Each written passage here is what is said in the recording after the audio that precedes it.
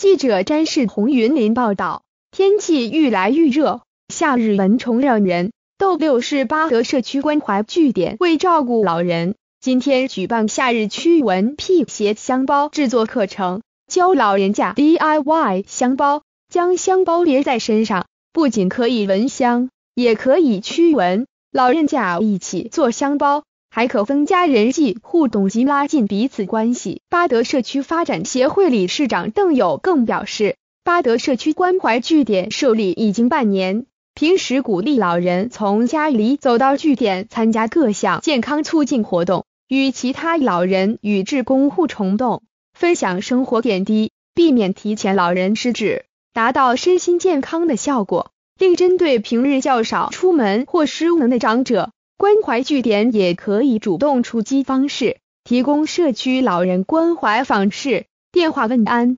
咨询及转介等服务。今天巴德据点邀请中医师邱树文教导老人家制作驱蚊辟邪香包。老人家将四种不同的药材装进袋子里，再仔细系好，可随身携带。制作的难度不高，老人家个个亲自操作。老人还打趣的表示，香包应该在端午节时制作，现在做晚了些。邱树文表示，香包不是端午节专利。随时都能制作，因为夏天蚊虫滋生让人，如能随身佩戴香包，不仅气味宜人，而且有逐赶蚊虫、避免被叮咬的功能，也避免感染各种疾病，一举数得。